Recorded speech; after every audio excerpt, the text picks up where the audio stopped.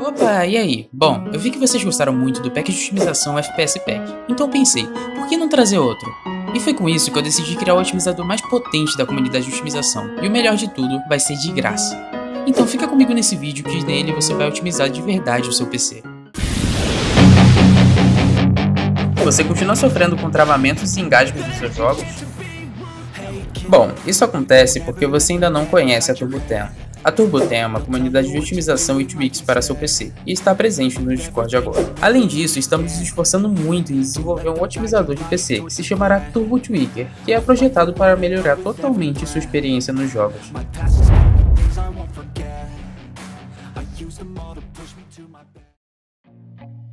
Beleza, no site que eu deixei na descrição vão ter os botões para você fazer o download do arquivo. Vai ter Google Drive, Mediafire e a versão Light se você quiser baixar. Também vai ter o botão de pegar senha, é só você clicar nele e passar pelo encurtador.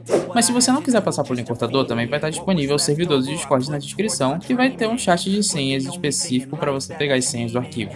Quando você baixar o arquivo, ele vai vir uma pasta compactada. Para você extrair essa pasta, você precisa clicar com o botão direito nela e clicar em extrair arquivo usando o WinRAR. Inclusive eu vou deixar ele na descrição. Beleza, agora a primeira coisa que você vai fazer aqui na pasta do pack é abrir o arquivo FPS Pack V3 como administrador. É só você abrir ele. Beleza, agora que você abriu ele vai começar uma música automaticamente. Se você não quiser essa música, é só você fechar ela.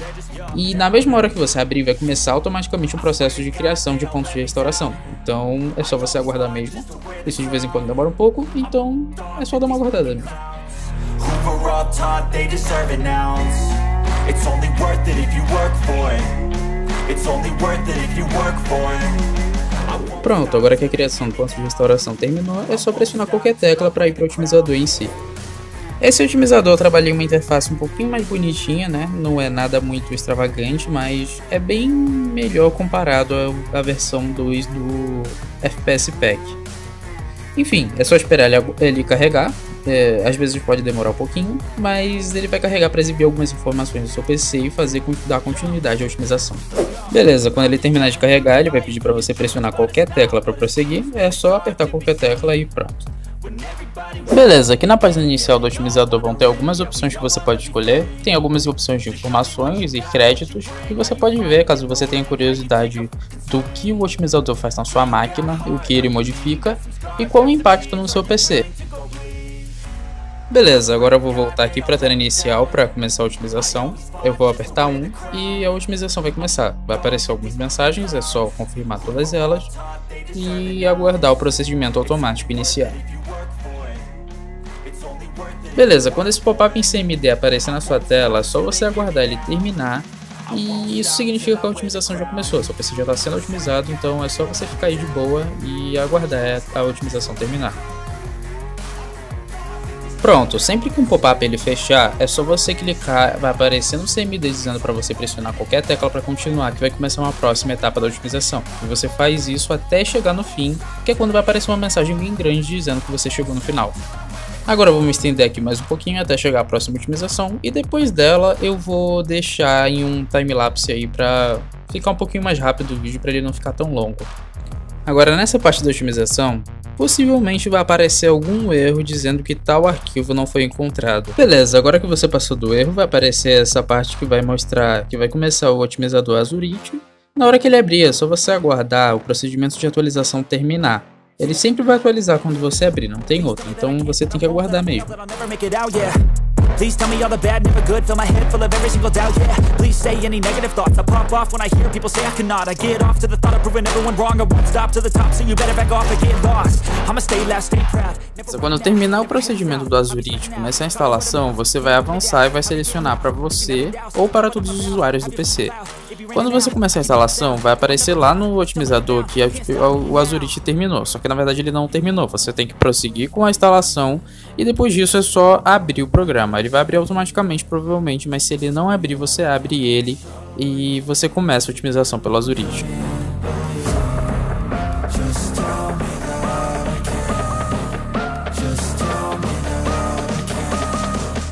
Beleza, aqui na tela do Azurite você vai clicar nesse único botão, executar o otimizador. É só você clicar nele e aguardar o procedimento terminar.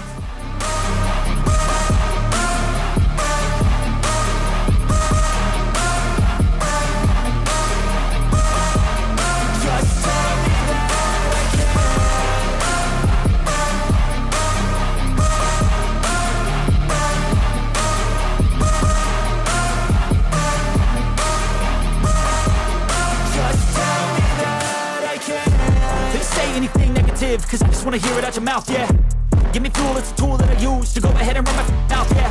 Beleza, e quando o Zurich terminar a otimização, ele vai pedir para você reiniciar, só que você não precisa reiniciar, é só fechar o programa e clicar qualquer tecla no CMD da otimização. Vai aparecer que a otimização terminou, e então você pode já fechar esse programa e prosseguir para a próxima etapa. Beleza, agora que você terminou, você vai voltar para a pasta inicial do pack e vai abrir a pasta BAT. Dentro dessa pasta é só você abrir cada um desses arquivos executando como administrador e esperar a otimização terminar.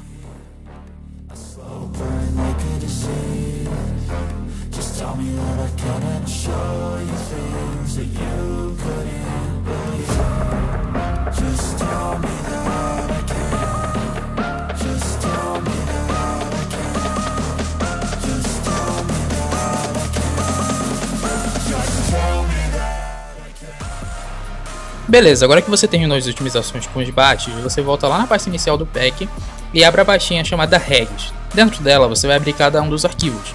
Lembrando que alguns deles você não precisa desativar, é opcional. Então você tem que dar uma olhada no nome e ver se você realmente quer desativar ou não. Alguns desses arquivos podem apresentar esse erro dizendo que não foi possível concluir a ação. Isso acontece porque pode não ter o serviço no seu computador ou alguns outros motivos, mas é só você ignorar e continuar para os outros arquivos.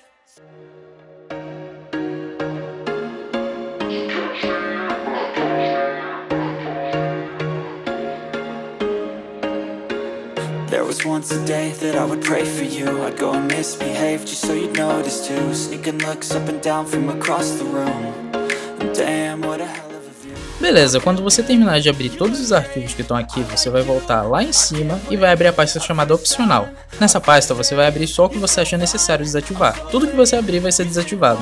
Então eu recomendo você prestar bastante atenção no que você vai fazer.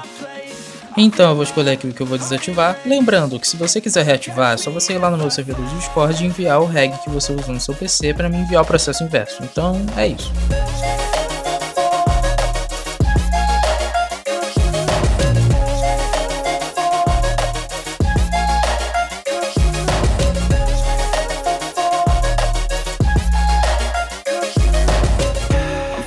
Agora que você terminou de abrir os arquivos opcionais, você vai voltar lá de novo e vai abrir a pasta GPU. Nela, você vai escolher a marca da sua placa de vídeo. Então, se sua placa de vídeo for NVIDIA, você escolhe NVIDIA. Se for AMD, você escolhe AMD. E caso você ache que a configuração não ficou boa, é só clicar no Revert que ele vai reverter a otimização que você aplicou.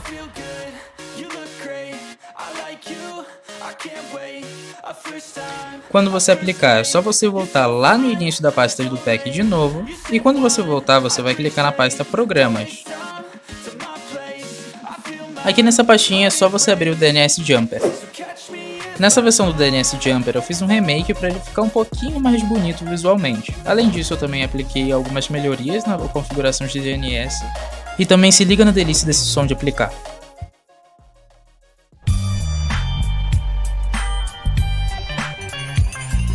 Agora no seu DNS Jumper você vai abrir a aba de DNS mais rápido e vai iniciar o teste do DNS. Assim que o teste acabar, você vai clicar em aplicar e vai selecionar o DNS mais rápido para você. E quando você seleciona o DNS, também dá essa mesma musiquinha.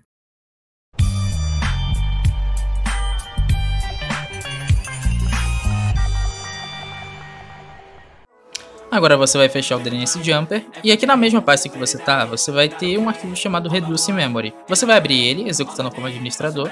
Dentro dele vão ter o botão de otimizar e vão ter algumas opções que você pode automatizar a otimização de memória RAM. Esse Reduce Memory ele limpa a sua RAM e deixa seu PC mais rápido. Então é só você clicar em otimizar ou limpar e é isso. Voltando na pasta inicial do pack, você vai achar esse arquivo chamado Compact. Você precisa abrir ele como administrador como sempre e vai aparecer uma mensagem automática na hora que você abrir ele. A compactação de dados do sistema operacional pode demorar bastante para algumas pessoas.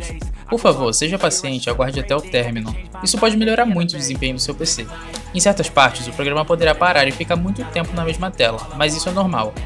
Caso você tenha certeza de que há algum problema com a otimização, peça suporte no Discord.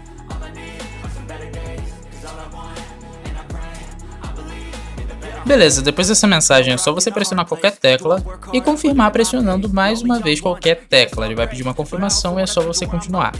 A otimização ela pode realmente demorar, e normalmente ela realmente trava em algumas partes, então é bom você ser bem paciente para isso.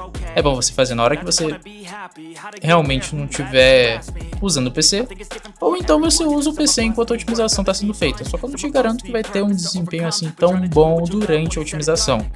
Eu recomendo mais você deixar a compactação lá fazendo, porque ela pode demorar um pouquinho menos se você deixar ela lá de boa sem nada rodando no PC. Então, quando a compactação terminar, ela vai aparecer uma mensagem, assim como o arquivo de otimização principal, vai aparecer uma mensagem dizendo que a compactação terminou. É só você reiniciar o PC para aplicar todas as otimizações.